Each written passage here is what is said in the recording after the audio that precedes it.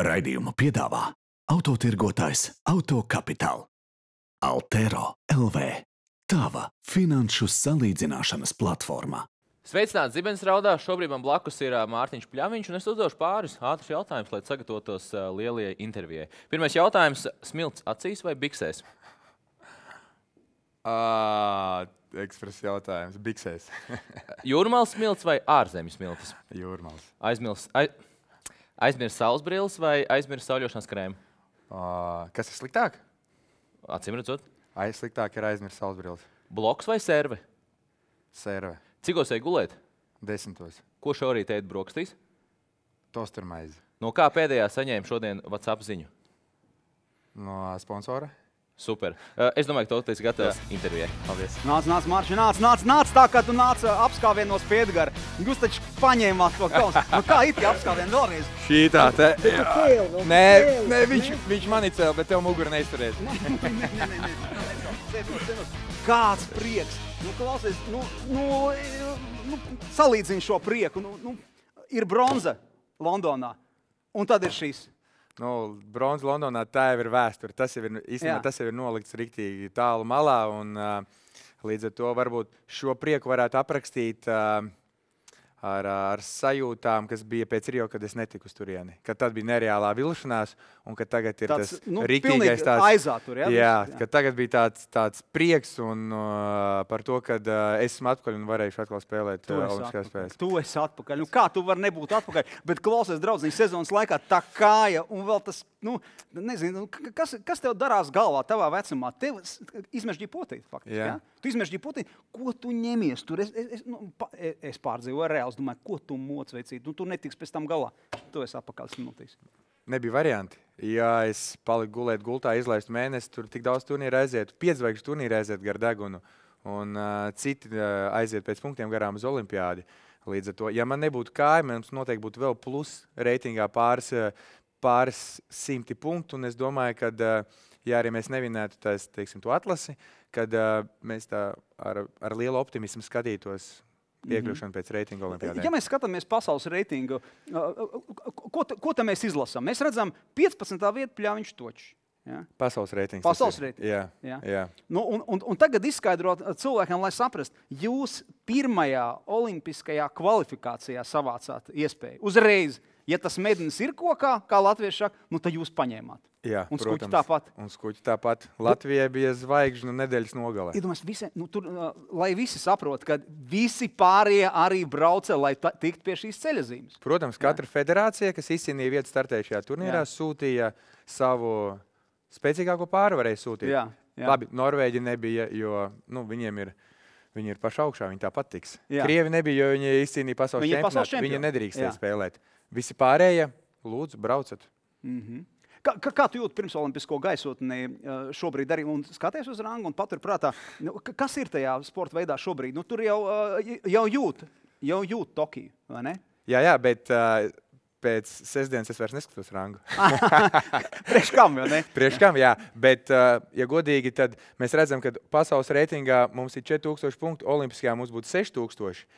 Tad Olimpisko ceļazīmi starp pēdējo uh, komandu iekšā un pirmo ārā, es domāju, izšķirs kaut kādi 60 punkti. Ja, maksimā, ja, ja būs 6500 apmēram, tad uh, ceļazīmi izšķirs 60 punkti. Pagaidām, 60 punkti. Uh, Tas ir vi- nopelnīt viena, viena spēle četrās zvaigznēs. vi- vi- viena spēle. Četrās vai trijās zvaigznēs, jā, tur būs ļoti sīvi. Iet punkts punktā, ļoti daudz komandas. Jā, jā. Jā. Nu, labi, Klau, 34 gados. Uh, Tas ir tikai Kur- cipars. Jā, tas ir cipars. Jā. Tas ir cipars, draugs. Un, uh, nu, kur ir fiziskais nogurums? Kur tas paliek? Es saku, vecīt, domājot uh, par šī vārda uh, pirmo daļu. Vec. Es, es saprotu, Vecais. jā, bet uh, es uz, se, es uz sevi tā neskatos. Jo man liekas, ka šogad uh, fiziskā forma man bija sagnoša periodā. Es sasniedzu vienu no labākajām, kādas ir bijušas. Uh, Kā to var izdarīt? Nu, daudz trenējāmies, Nu, visi trenējās, Mārtiņ, visi trenējās. pareizi ēdām. Es to saku, pirmo, pirmo reizi savā karjerā es, man bija plāns pēc kā arī ne tikai trenēties, bet arī pēc kā ēst. Paga, paga. Kā var nonākt tajā brīdī, iespējams, ka tev bija 33 gadi? Ja? 33 Jā. gadu vecumā pie domas, ka jāsāk pareizi ēst. Un tu esi bijis profesionāls sportists un neesi līdz tam pareizi ēdis. Jā, nu, redzi, es uh, pēdējā, pēdējos gados esmu kļuvis uh, gudrāks un gudrāks tajā ziņā, kad es saprotu, ka man vēl jāmācās. Mm -hmm. Jā, un man ir daudz, daudz ko mācīties gan kā sportistam, gan kā, nu, tur jau nekur neizbeigsim, kā topošajam trenerim. Un, uh, līdz ar to noteikti tāpēc, tāpēc esmu kļuvis gudrāks. Es daudz vairāk informāciju tagad zinu nekā to es zināju pirms pāris gadiem, kad es arī biju Olimpijādē izcīnījis medaļu, bet tad man likās, ka es visu zinu, bet tā izrādās, ka ui, vēl ir tik daudz priekšā, kas jāmācās. Kas ir ēdienkartē īpašs tavā? Ar ko tas uh, ir saistoši? Jebkuram, kas tagad klausīsies un sāks pierakstīt. Jā? Uh, noteikti sagatavošanās periodā noteikti jāskata tur olbaltumvielas, ogļhidrāti, tur tauki un viss. Un, uh, pie noteiktām slodzēm, tev ir noteikti arī jāuzņem tas viss. Mm. Un citreiz ir tā, ka uh, es, es redzu, ko pārējie ēd, un viņi ir pāēduši, bet viņi nav uzņēmuši to, kas nepieciešams organismam. Ir. Nu, labi, uh, Līdz ar to nu, rezultāts. Pasaka, pasaka priekšā. Katram tas ir individuāli. Nu, tev, Nu, kā tu pie man, tā jā, nonāci? tad man ir jā.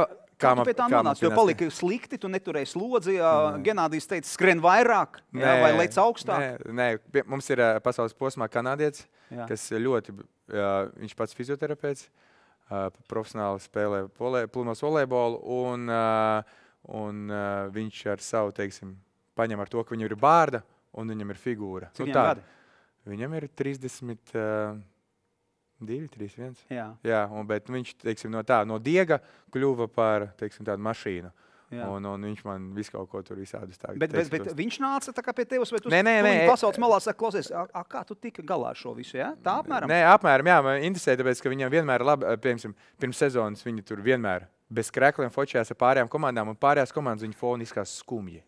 Bez krēkliem tas nozīmē, visus ir, jā? Jā, tur ne nu, tikai ir, seši paks, tur ir. Jā, jā, nu, jā, viss, nu tā, nekas liekas, tev nav organizēta, nav tā, ka citi novelk krēklu, un tur var redzēt, ka ir, nu, tev tā augstslānīts Nu, ir jā, kas. bet tas ir, jā, jā, Nu, jā, bet uh, mēs esam profesionāli sportisti. Jā. Un, un, uh, tagad, pieņemsim, kad bija Brazīlija spēlē militārajās spēlēs un atbrauc Latvijas no Rīgas. Viņš saka, ka viņš ir ne tikai sportists, viņš ir atlēts, viņš ir mašīna. Jo, kad viņš novāk, var redzēt, nu, kad viņš par sevi rūpējās. Brazīlis? Jā, Brazīlija. Jā, jā, ka viņi par sevi rūpējās, ka nu, tā- ir mašīna, un tādam ir jābūt tam sportistam. Un Tas man kaut kā nosēdās galvā, un, un tad kā mums teiksim, tas krūtākais čalis, e, nu, gudrākais, varbūt viņš vairāk informācijas zina kanādietis, tad es ar viņu vairāk tur tā interesējos. Tad atbraucu uz Latviju, painteresējos, vēl, kā mums tas ir, ko Bet iesaka. tas ir grūti. Režīmu, kaut kā- režīmu jā, ievērot. Režīms, uh, Tas ir ļoti- tas ir ja tev, ļoti grūti. Ko tu, ko tu nedrīkst ēst? Es tev kārdinu, piemēram, kaut Nē, ko. es varu ēst, saprotu, tad, kad tu Nu. apēdi visu, ko tev ir jāpēda, Jā. tad tas rada problēmas. Apēst visu, kas tev ir jāpēda. Tu vari ēst visu, bet sāc ar to, kas tev ir jāpēda, un tad tu vari ēst visu Nu, šodien, pārējo. ko tu ēdi? Nē, nu šodien man ir brīvdiena. Labi, labi. Okay, pa- nu, kurā brīdī tā, tā, tas režīms tad sākās? No treniņa procesa laikā. Jā, sāksimies no sāksim, Nu, sāksim dienu gatavoties no mm, Rīts. Es no nu, Ēģipte. Ēģipte. Ā, Mēs ā, pamostamies, es pamostos Jā. ā, pusseptiņi, vai 6.15. Lieku, lieku, nolieku paklājiņus grīdas, lieku uz kājām atsvarus, uz rokām atsvarus, tā es tur presu muguru Mm -hmm. pusstundu. Visā, visāds vingrinājums. Pēc tam taisa brokastis, noteikti brokastīs ā, četras ceptas olas, ā, trīs putras, ā, nu, kas tās tādas paciņās, trīs auzu pārslu putras un, un kaut kāds tur proteīna dzēriens, kafija. A, Kāpēc nevārīt solis? Kāpēc ceptas? Nu, man liekas, pie tā daudzuma, man liekas, cept olu vieglāk apēst nekā vārīt. Jo vārīt olu ir ļoti sausa, cept olu nav tik, nu, bet tas ir individuāli. Jā. Vienkārši četras olas. Putra, olas. Pulters olas un, ā, un, un kaut kāds ā, proteīna šeiks, ko mums tur olimpiskā Mhm. vienība dod, un kafija. Nu, Jā, kafija un, pats un par tad ir treniņa darbs. Un tad sākās treniņš. Pirmais treniņš. Jā. Pēc treniņa, pēc tehni, tehniskā treniņa noteikti seko, tur bišķiņo jāpievelkās, jāatspiežās Jā, tur ok. individuāli. Un? Pēc tam, pēc tam tur ir kaudze, kaudze pusdienās ar, ar, ar makaroniem. Pēc tam ir otrs treniņš. Pēc otrā treniņa ir noteikti kaut kāds. Teiksim, kā saka, šeiks, tagad, kur augļi un Jā. zemesrieks sviests. Nu, tur, ir, tur, jā, tur var dažādot, bet arī ar uh, kalorijām bagāts. Pēc tam ir svaru zāle, un tad ir vakariņas, kur ir noteikti ir, ļoti daudz gaļa un uh, daudz rīsi. Nu, kā atkarībā, kas garšo. No, kas tev garšo? No mums Turcijā, uf, Turcijā atvainojos, Ēģiptē, Ēģiptē ir ā, vai nu vista, vai nu viņam tas kebabs ir. Un tas Jā. kebabs, ja viņi uztaisa, uztaisa teiksim, A, a, a, kur āliņš, vīna glāze? nē, tas nav, tas nav priekš manis. Nē, nē, es, nu, nē, es, nē, es kā provokācija. nē, Tas, tas noteikti, es nezinu, varbūt ir citiem, kam citi jau saka, nu, ka Nu kā tev vajag vienu aliņu vai kā, bet, uh, bet nu, zin, kā aliņš baigi, man liekas, nu, pieci aliņš tur to vēduru piebāž. Es, es reāli, es te visu, ko nosaucu, es praktiski vairāk pa dienu neko nē, es nevaru tur man šokolādu vai pat neprasās. Man ir vēders, liekas, ka esmu apēdis ļoti daudz. Tu grūti nest, tā var teikt. Ja? ka Tu... Nu, vai grūtnes, bet nu, organisms pie tā pierod. Un tad pēc mēneša viņš jau tev prasa, lai tu uzņem daudz, lai tev augtu muskuļi un tu ātri atjaunotos no, no rīta, lai tu labi justos, Jā. ejot uz treniņiem. Un... Ah, tu esi aplitinājis arī pārējos ar šo? Nē. Nē. Nu, Zini, kā tu jau vari arī savam pārniekam, Edgars, teikt, klausies, Nē. viņš jau tas ir jādara. Nu, ir jau trakie, kas Nē. saka, nē, tev tas ir jādara, savādāk nebūs manā komandā. Tas ir, tas ir ļoti grūti. Ja tas, ir, tas ir tāds režīms, un, pieņemsim, ja, ja tagad es šajā gadā režīms man bija apmēram septiņas nedēļas. Es ievēroju, janvārī nē, tad Jā. Es tikai februāru un gandrīz visu mārtu. Tad tagad es plānoju tādu režīmu, nu, gandrīz visu sagatavošanās procesu. Tas Un es ir domāju, tas ir Ne ne, mēneši.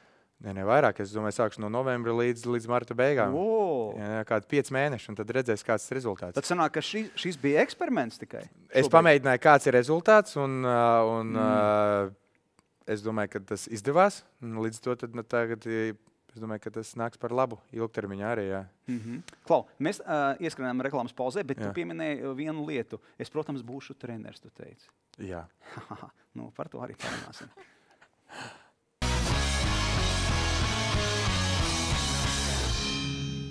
Mēs turpinām izgaršot Mārtiņā, Pļaviņa, Gartoča, Anastasijas Kravčēnokas un Tīnas Graudiņas uh, ceļa zīmi. Uh, Zini, kā, nu, kāda izskatās ceļa zīme? Tā bija tā bumba, ko uzdāvināja. Ja? Man liekas, ka tas bija tas šķīvis, kas mums bija, un uh, diploms apstiprinājums, ka mēs esam. Aha, Oficiāls dokuments. aha, aha. Bumba bija tas, nu, teiksim, kausas bumba, Nu, kas jā, kuram trofeja. trofeja. Jā. Jā, nu, labi. Uh, Kāps liels, bet um, pirms uh, reklāmas uh, ieminējos par treneru darbu. Uh, kur tas aicinājums radās? Tiešām gribu būt treneris. Tas nav pateicīgi. Tas nav pateicīgi, bet uh, es redzu savos bērnos interesi spēlēt pludmales volejbolu. Un, uh, es mm, neesmu pārliecināts, ka esmu gatavs uzticēt to darbu kādam citam. Jā, varbūt Ganādijs Samoilovs tur pamatus bērniem ļoti labi ieliks, bet uh, treneris nav gatavs tur braukāt apkārt pasauli nu, katru nedēļu. Tas ir grūti. Mārtiņ, par ko mēs tad runājam? Mēs runājam par trīs meitenēm. Jā, pat Mēs runājam par trīs meitenēm, mazām meitenītēm, kuras tu jau esi nolēmis profesionālajiem. Es neesmu neko. Jā. Es vienkārši redzu to deksmu acīs pēc treniņa, kad es noguris, nevaru piecelties. Saku, paspēlējām tur apakšā, augšā, piešķirt. Parādi man tur, kā uzservēt. Un, un, Cik skuķiem gadu? uh, vecākai deviņi, Jā, meitiņa, jā, beidziņa. jā, jā, jā, pieci. Deviņi, Un tagad trīs. Jā. 9, 5, 3. Jā. Un, un, patīk jau. Un tu redzi, ka spīd. Viņas, ne, viņas redz, redz mūsu meitenes Eģiptē, Jā. kā viņas iet. Redz, ja atbrauc no Eiropas čempionāta ar kausu. Nu, kas negribētu to? Un redz, Jā, un, jā, kaus, viss Viņi redz pludmalē, viss, ne, nu, viss tas, tas, tas, uh, tas dzīvesveids. Nu, tas, tas, tas, tas, man liekas, piesaista. Un, jā, ja viņas gribēs, tad, uh, tad noteikti. Bet ar, ar baru bērniem ir ļoti grūti, trau, uh, ļoti grūti strādāt. Un, uh, tas, tas ir, es nezinu, vai es to esmu gatavs. Bet Tev, tev, tev ir kaut kādas pedagoģa iemaņas. Jā. Tu nebūs tā, ka tu salūzīsi. Jo, zini, kā meitām ir prasa, zini, kā tēvs pret meitām. Ja? Nu, viņš, viņš mīļāks ir. Nu, viņš viņš nu, žēlo. Viņš viņas nu, visu kaut ko ir gatavs. Nu, es zinu, man arī divas meitas. Nu, beidz, nu, tur meitas, nu, viņas ir karalienes. Nu, princeses. jā. Mums ir mamma.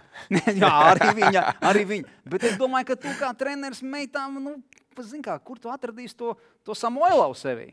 Jo Samoilovs ir jāatrod, gan Samoilovs. Jā, es saprotu. Nu. Jā, bet, uh, bet arī treneris Samoilovs ir, ā, ir ā, ļoti mainījies pa šiem gadiem. Un, uh, ja agrāk viņš teica, mūs ar Sašu dzina, tad, uh, tad tagad viņam jau tā pieeja ir mainījusies. Un, uh, protams, viņam ir bijusi daudz lielāka pieredze šajos Jā. gados. Viņš ir ļoti gudrs. Un, un ir, ir, ir, ja citi saka, ka viņš tur ir uz vietas palicis, viņš, viņš ir līdzi mainījies. un Viņš te trenē meitenes. Agrāk, Mhm. kad mēs sašu sākām meitenes, es domāju, oi, viņam nevar meitenes. Tad Nu, tāpēc liela daļa domāja, ak, nabagas meitenes. Nu, tā, kas ir Tīna un Anastasija. Nav- Nabaga meitenes. Nav nabaga. Bet nav. izskatās, ka ā, skuķi var vienā otrā gadījumā ņemt virsroku, ne par treneri.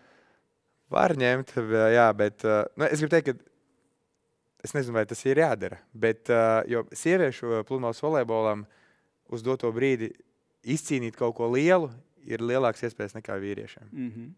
Bet tā, tā, tā ir, tas tā ir, jo, jo mē, latvieši ir īsākie pludmales volejbolisti pasaulē. Nu, teiksim, pamatturnīrā, auguma auguma ziņā. ziņā. Jā, tad, tad meitenes Tur runā ar- par džekiem. par džekiem, jā. tad meitenēm tur ir viss kārtībā. Proporcijas pareizās. Viņas, jā, jā, proporcijas mm -hmm. pareizās, fiziskā sagadīja pareizā, viņam tur viss notiek.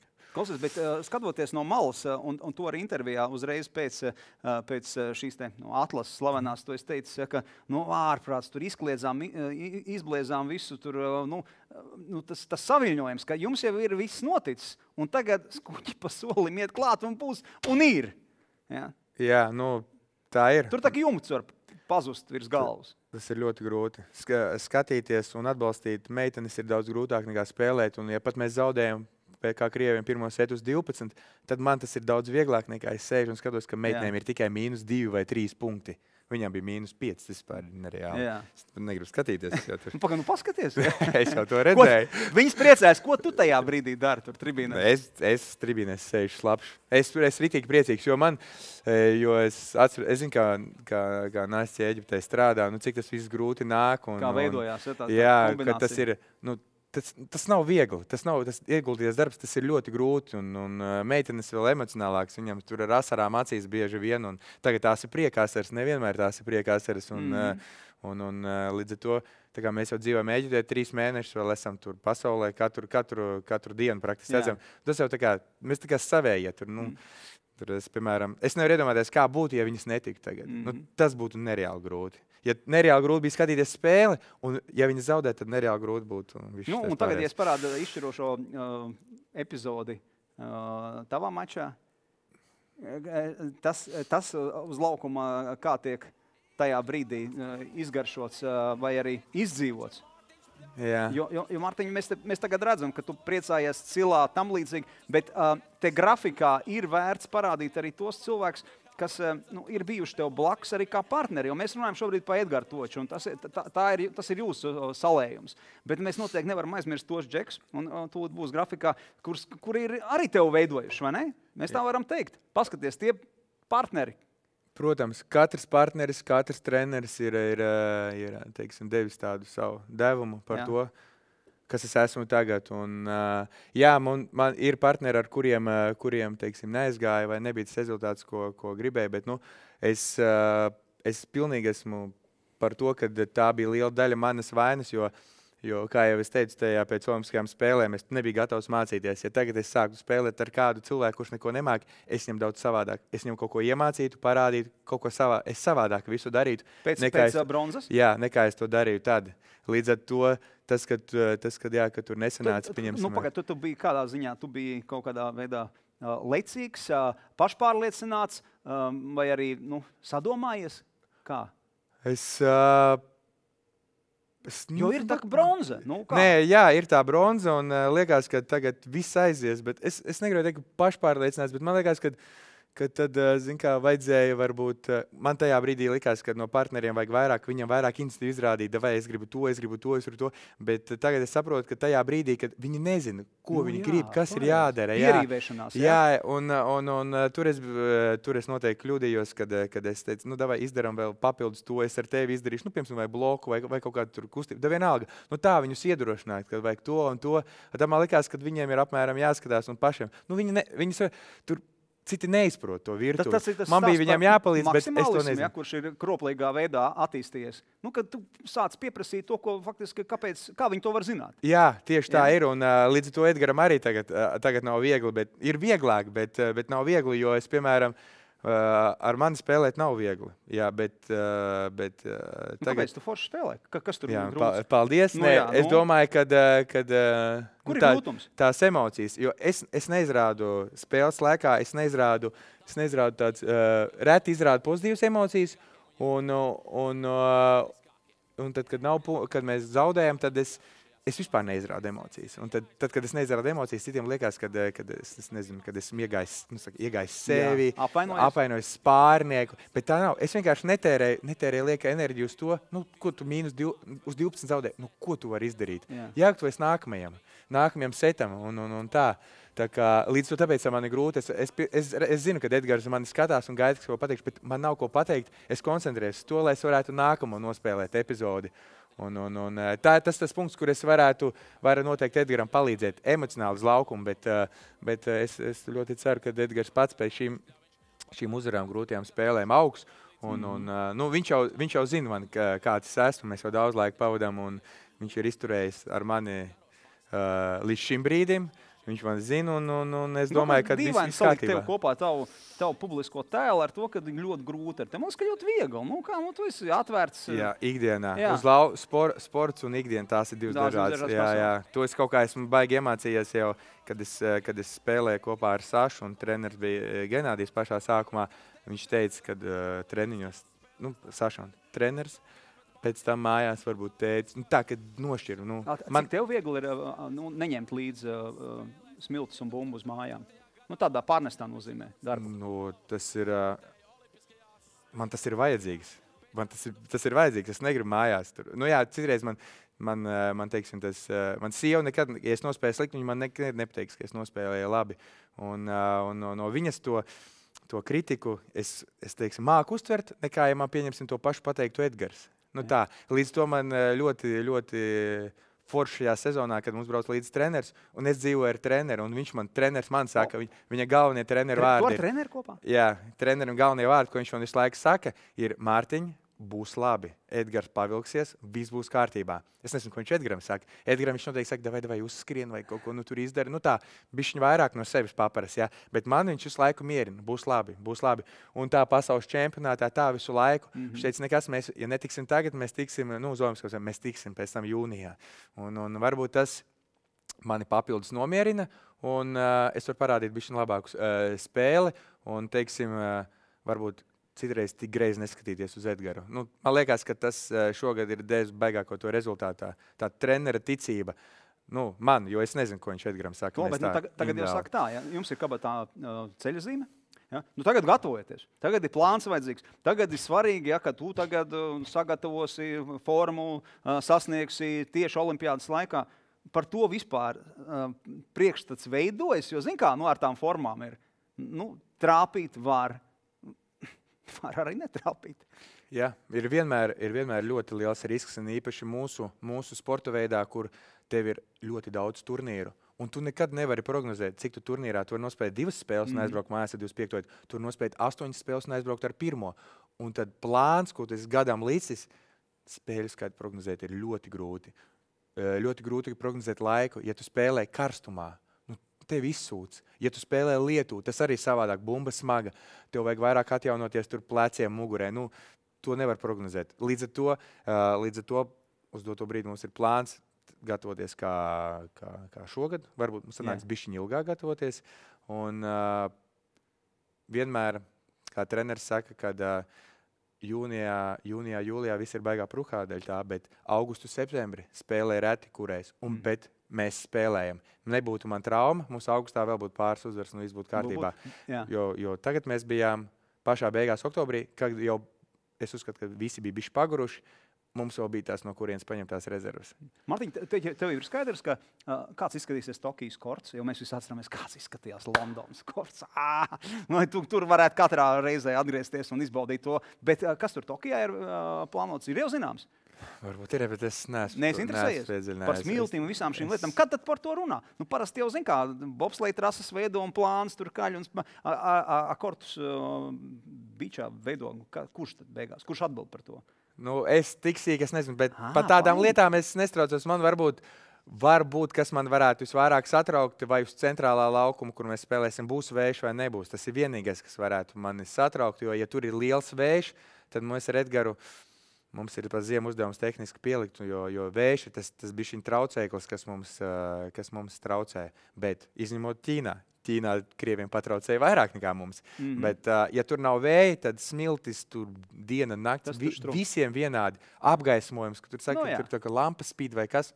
Visiem, visiem vienādi. Mēs tā nebraucam tur vakarā, iebraucam no rīta spēlē. Mēs aizbrauksim ātrāk, pamēģināsim. Es domāju, ka, es domāju, ka uh, par to nav jāstraucās. Vienkārši jābūt gatavam fiziski, tehniski, Tā, psiholoģiski. jūs esat, jūs esat klausies, to arī novēlam. Un uh, gastrobārs Klaips, kas ir uh, bibliotēkas numur viens uh, brālītis, un uh, tas atrodas Ādažos, nu, uh, aizveda ģimeni, aizveda skuķus savus. Jā. Noteikti. Saka, nu, motivē, motivācija. Ja? Tu esi to nopelnījis. Jo, nu, Paldies. sakot, prieks nevis kur Paldies. tur rodas, bet prieks rodas pie, pie pļāviņa, toča un šobrīd arī pie kraučēnoks un, un graudiņas. Ā, Paldies par ā, šīm emocijām. Un sk- skaidra lieta ā, pēc gada, un tagad laikam daudz punktu. Tieši tā. Paldies! Tieši tā. Paldies. Raidījumu piedāvā autotirgotājs Autocapital. Altero LV. Tava finanšu salīdzināšanas platforma.